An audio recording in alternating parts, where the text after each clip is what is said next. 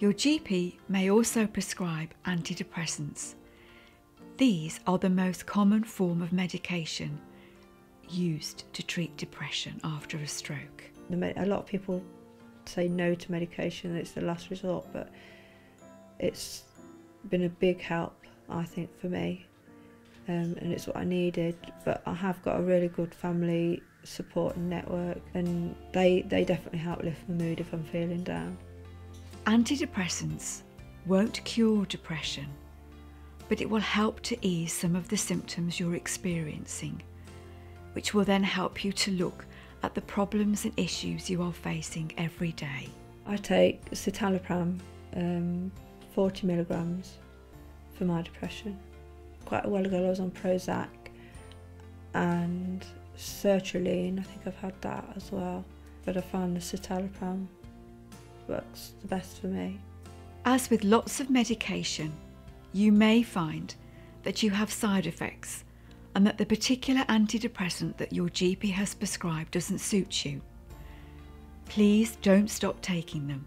Go back to your GP and they will be able to prescribe a different antidepressant for you until eventually you will find one which will help to relieve some of your symptoms.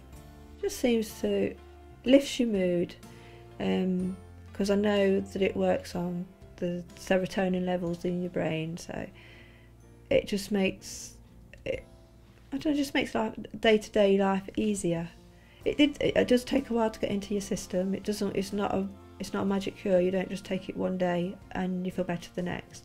I think it took me about eight weeks for it to fully be in my system and for me to start feeling better. We often take calls on the helpline from stroke survivors who are on antidepressants, but they're still feeling the same as they were before. We always ask, How long have you been taking your medication?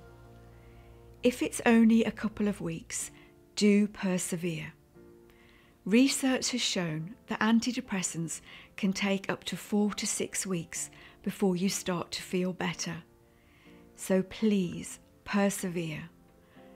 And if you still feel the same after eight weeks, go back to your GP.